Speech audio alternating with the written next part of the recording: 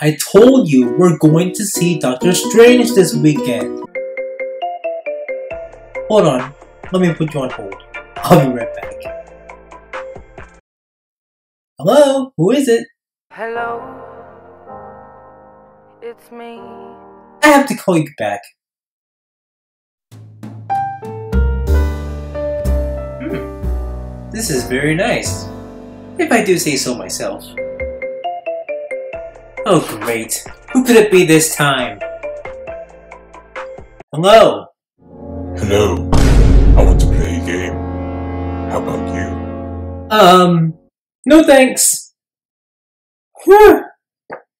That was close.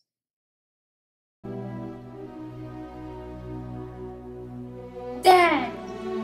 We gotta get up! Dad! We gotta go home! This part gets me every time. Ah, one call after another. Hello. And goodbye to anyone standing in John Cena's Really? way! When he takes That's starting to get old.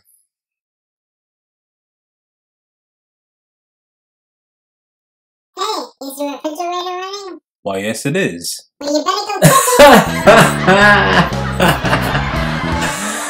I don't get it. Oh great, who is it now? Hello? I am your father. No, you're not.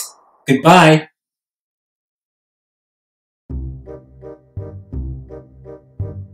Seriously, these calls are coming out of nowhere.